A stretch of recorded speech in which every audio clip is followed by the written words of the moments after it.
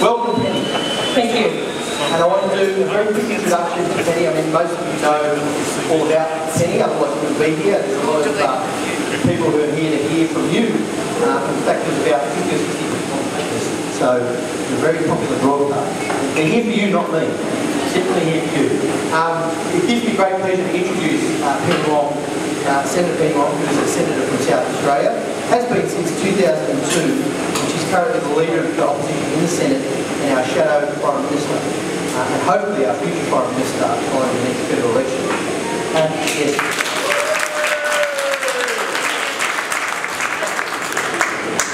Um, I think it's true to say that she is probably one of the most respected politicians um, in Australia. We were just talking, Penny, before you arrived about why would you run for office and, and why people hate politicians, and I said, I did it because people, make a difference in um, even though you get paid less and you spend less time with your family.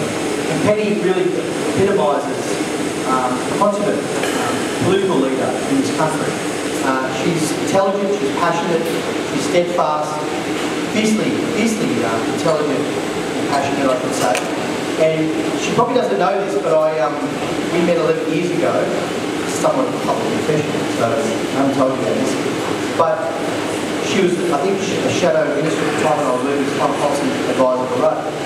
And when I came to Canberra, even before I came to Canberra, I saw her as a role model. And the reason I saw her as a role model, uh, sounds a bit strange, but she is someone from a migrant background who had to struggle through all the challenges, the obstacles that migrants have to, to enter into a world which, frankly, is pretty monocultural, still is to a certain extent in Canberra. Um, and that in me a great deal of admiration and respect for what she's done, what she was doing at the time, and what she's done since as a political leader. To keep that respect, that high respect that she has across the country is, is no small feat. And it's because of her authenticity, because of her passion, her intelligence and her commitment to those labour values that we all uh, ascribe to and want to be part of and implementing in government. So that's a, a bit of a confession about you as for and I'm sure for many, many others uh, around the country, uh, whether they want to get into politics or want to make a commitment to public service, um, you, you, really are an example to them uh, and, and really a guide for so many people. Um, so we're going to, I'm going to hand over to Penny. Wants to say a few introductory remarks, um, and then we'll get into that Q&A. She doesn't know what I'm going to ask her. There's no Dorothy Dix's. I was saying I'm going to do a Tony Jones or Emma Alberici. Should I go a bit softer than that? No? I think you'll handle yourself. Um, so thank you. Welcome, Penny. A round of applause.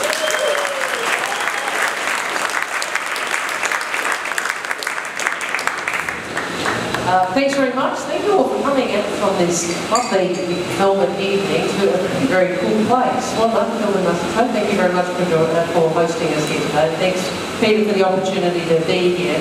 Can I first acknowledge the traditional owners of this land and pay my respects to elders past and present. Can I acknowledge all the people I know in the audience, parents of former staff, former staff, colleagues, former colleagues. It's wonderful to see you all here. Um, uh, I was just thinking as uh, Peter was talking when he said very kindly uh, he thought of me as a role model because you know, we're both migrant or from a migrant background. And I was remembering this moment in the Senate Tactics room when we were discussing the Pauline Hanson motion, which got a little bit of coverage saying, you know, it's okay to be white. And I made a joke, yeah, yeah, okay to be white, and I suddenly looked around the room and thought, blimey, I actually am the only person who's not white in this room. so we've still got a bit of a way to go. When I first came to Canberra, I actually remember recalling my mother, sorry, you're all here of foreign policy and I'm telling you anecdotes, I will get there. Um, and I said, Mum, it's like, you know, the chick in the library.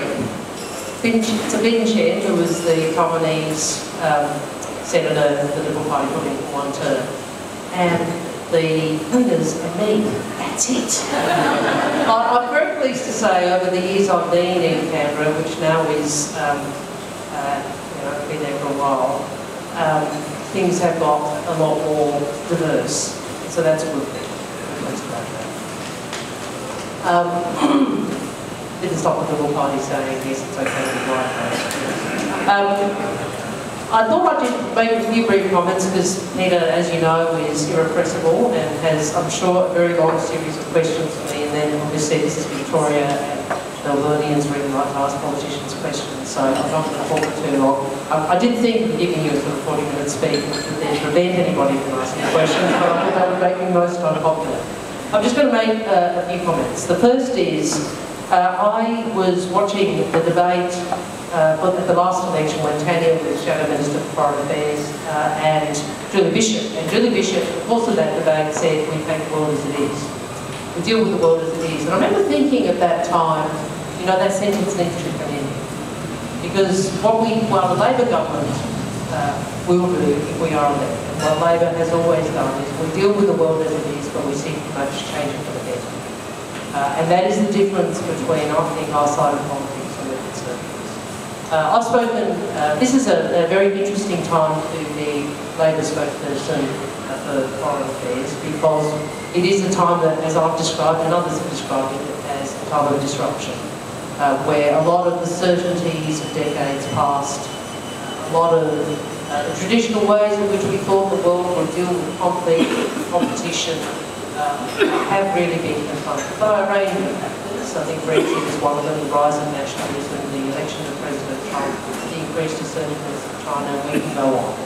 Uh, and certainly the economic landscape has changed as China has, and, and the Asian economies have become much more central and a much greater part of the global economy consequent strategic so things have changed. How do we deal with it? Now that is really the question that confronts this government and will confront the next government of Australia. Uh, Bill's talking about speech today. I've come from Sydney from uh, his foreign policy speech. Uh, and he said a few things that are worth, I think, reminding us of. First is that an Australian uh, Labor government under, under him will have a foreign policy which is independent, confident uh, which I think is very important. Second, uh, that we will focus very clearly on Australia's national interests, which uh, include, obviously, security the nation and its people, prosperity the nation and its people, uh, stability in our region uh, that is based in the rule of law, that is a, a rules-based way of dealing with conflict. And finally, what we call constructive internationalism, which is really my take on Gareth Evans' good international citizenship. It fundamentally means Australia working with other countries to deal with things such as climate change, nuclear disarmament, uh, people movement, the, the, whole range, pandemics, and the whole range of challenges the global community face that no one country uh, can do. Uh, Bill also spoke a lot about the Pacific and the importance of the Pacific uh, to Australia and the importance of taking a partnership approach, not a paternalistic approach, uh, recognising the Pacific continent uh, and the importance to Australia of uh, that region uh, and the importance of greater investment in infrastructure. I'm happy to talk about that later as part of our aid program. But most importantly, what I wanted to say to you tonight, and I look forward to these questions, is this. I see foreign policy not only the assertion, as the assertion of values and interests, but it is the assertion of our national identity. It is about who we are. Uh, and I don't need to say this in a city like Melbourne, I don't need to say this really in state like Victoria. Uh, but let us remember always uh, that our diversity, uh, our First Nations peoples, and the various waves of migrants, including uh, from two families that have built this country, contribute to a diverse, confident, multicultural nation. Uh, and that national identity is not only important for national cohesion, it is also an expression of our national power, because that identity projected into our region uh, is an important aspect uh, of national power and an important instrument for foreign policy. Uh, so we stand up for diversity for many reasons. One, because, because it's right, because it is who we are, but also uh, to make sure our region knows who we are. Uh, the story I always remember many years ago when Pauline Hanson first, at the first iteration of Pauline Hanson. And I rang my dad who was living in in Malaysia at that point, and he's a Colombo Plan educated Scot architect. And he actually said to me, you want to come back? Because we've got this politician over there saying that we should ban Asian immigration. Is a reminder of how these values debates debates like it's okay to be white can, can, can uh, in our region to Australians benchmark. So thank you very much for being here tonight. Thank you to all of you for your interest in foreign policy and uh, to this wonderful state and city for your intellectual contribution to the nation.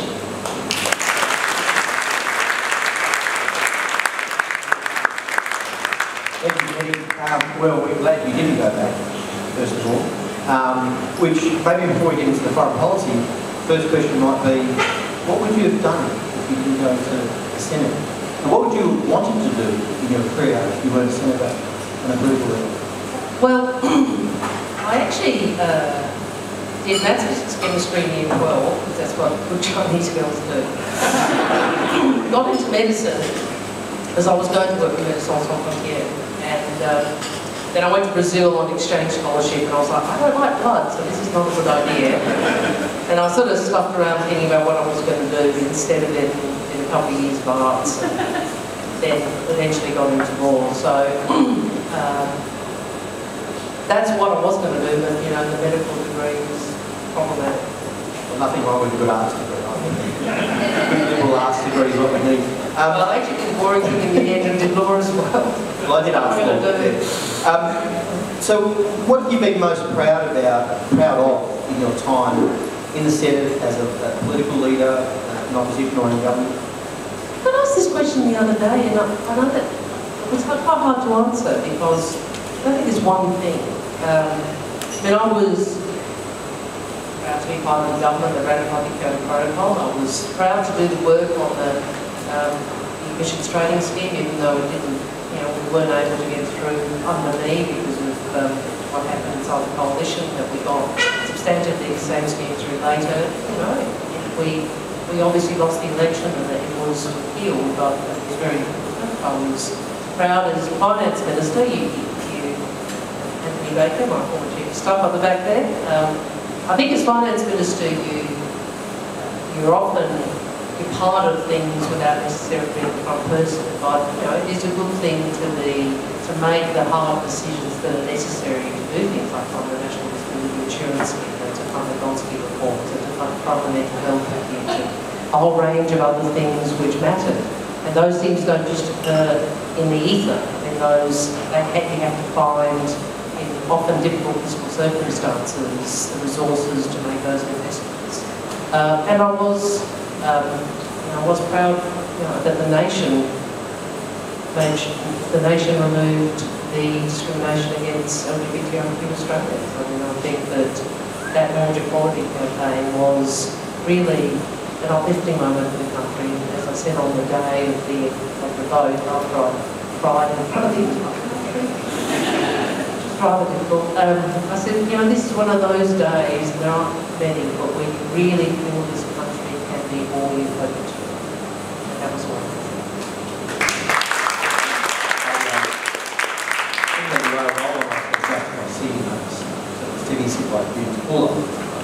Just talking you. about Scott Morrison did that. Don't fall over. Um, See the women in the room, Um, you touched on that, that motion by Pauline Hanson, but even earlier than that, um, there was this speech by Fraser Anning in the Senate, which was effectively a, a sort of a, a fascist speech that had a hierarchy of, of what an Australian, Australian citizen should be. Um, had to be a particular race, Anglo race, and a particular faith. In a sense, I, I mean, I did some media on this, and I know you did, but basically said to people that being Australian has nothing to do with your race, your ethnicity, your gender, your sexual orientation. It has everything to do with embracing democratic values, equality before the law, and that quintessential Australian value of fair go. How, my question I guess is, are you, is there a deep disappointment that we're in 2018 and we're still getting a senator in the Australian Parliament making such a speech? Is that something that I mean. I remember if I said this in my speech, I just said it to my staff. So my parents, so mum was white, and dad, as I said, Malaysian Chinese, came to Australia study. They married all the white Australian poverty had. Um, and as you know, the ending of the white Australian policy actually was bipartisan, but also both parties of government contributed to its dismantling over a period of time. Um, and I thought to myself, I can't believe my parents married and this policy was in place, and here I am at this age and this time, and we're still having an argument about white Australian policy. Um, I'm turning 50 next week, which, which, which, not, um, the only way I can deal with the stress of that is to tell everybody, so now you're amongst the thousands of Australians I have told.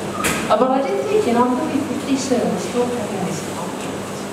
Uh, so, but it's important, I think, to, there's, there's often, silver linings of a cliche, but sometimes those moments where you're confronted with prejudice or discrimination or, uh, you know, an impediment to progress, so like the marriage equality campaign, all this where we actually finally had enough people in the coalition remember that it's part of their history. I mean, like the speech I gave, I pointed out that the, this country being able to be a successful multicultural nation, a country that has turned it, turned away, turned it, its back on prejudice and discrimination. We have much more to do, but at a fundamental political level and party and government level, our progress, the arc has been towards greater equality and to the removal of discrimination. It's their history too, they need to remember that when, you know, notwithstanding the governments and the various stuff that you get here about gangs, and is raised, that actually was part of the Liberals' history as well, and they would do better to remember that. Um, just before I get on to foreign policy and international development, last question on this. Practical policies that change struct- structural uh, effects. So we had a, we've had a, Labor Party's had a quota for gender in the parliament, which has been spectacularly successful. We've got 49%, 48, 49% more women in the federal parliament. Can this kind of thing, what- what's your view on this with respect to greater diversity in the parliament? And I know there are internal impediments to migrant, people getting involved in politics. Like my family, like, why would you go anywhere near politics? Study, be a doctor or a lawyer or a chemist or whatever, or an engineer. And Can't trust government. yeah, because they're coming from countries where they're escaping effectively politics in some respect. What's your view of that? Well, we need to, um, first, uh, the affirmative action targets that, that you know, I was obviously involved when I was uh, young and probably a lot more naive in the 90s and driving, the changes in the state rules and then the campaign for effective reforms. Uh, I always saw those targets, frankly, not as quotas in, their- in, in per se, they, they are, but the objective was actually to change the culture of the party uh, and to make sure that we had a party that stopped uh, looking, not, that failed to look for women um, in terms of representation. So, yes, those quotas are important to get more women into parliament, but the, the effect of them is a much more important uh, outcome, which is the culture of the culture of way power is shared and, power is managed. Uh, and I think we have achieved that. And I think one of the things that is different if you look at the way opposition talk about this and the way Labor thinks about this, I don't. How are people talk about